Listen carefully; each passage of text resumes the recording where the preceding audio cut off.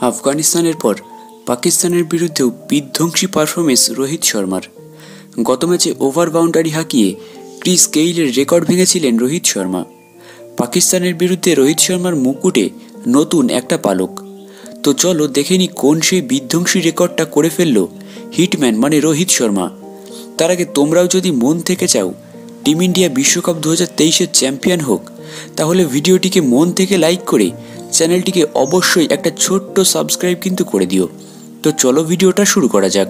প্রথম ভারতীয় ক্রিকেটার হিসাবে ওডিআই ফরম্যাটে তিনশোটি ছয় মারার রেকর্ড কিন্তু গড়ে ফেললেন ভারতীয় টিমের এই তারকা ক্যাপ্টেন ক্রিস গেইল এবং শাহিন আফ্রিদির সঙ্গে এলিট তালিকায় নিজের নাম তুললেন ভারতের হিটম্যান পাকিস্তানের বিরুদ্ধে বজায় থাকল দ্য হিটম্যান শো ক্যাপ্টেন্সির পাশাপাশি এদিন পাকিস্তানের বিরুদ্ধে বিধ্বংসী ব্যাটিং পারফরমেন্সও দেখা গেল রোহিত শর্মার ব্যাট থেকে।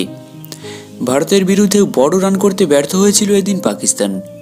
ব্যাট হাতে নামার পর থেকেই এদিন আক্রমণাত্মক মেজাজে ছিলেন রোহিত শর্মা।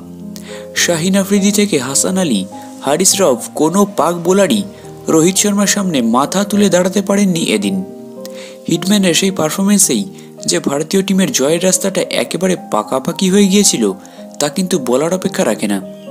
বিশ্বকাপের মঞ্চে রোহিত শর্মার ব্যাট থেকে এখন শুধুই ছয় এবং চারের বন্যা।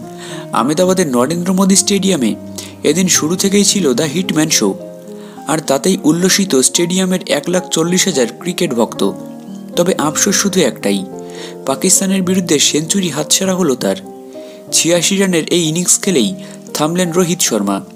গোটা ইনিংসে ছিল একাই ছ মানে গোটা ইনিংসে একাই মেরেছেন ছটি ছয়, আর পাকিস্তান টিম জিরো।